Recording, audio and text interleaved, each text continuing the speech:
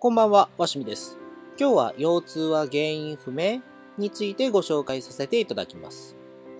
腰痛でお困りの方って本当に多いですよね。え、厚生労働省の調査では体調不良を訴える症状のうち腰痛は男性で1位、女性で2位なのだそうです。厚生労働省の出している資料に腰痛の原因は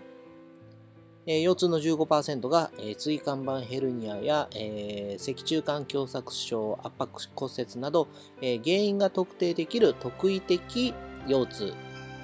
残りの85%が原因が特定できない非特異的腰痛とされています。つまり腰痛の原因はほとんど分かっていないということです。サトシキリンパケアでは腰痛は体液循環が悪くなり膜組織が進展されることでなっていると考えています。大腰筋が過緊張することで裏側にある腰方形筋や脊柱起立筋などの腰の筋肉が緊張し体液循環が悪くなる。そして筋肉の引っ張り合いにより腰が進展させられたことで腰痛になると考えています。えまず大腰筋が緊張してしまいます。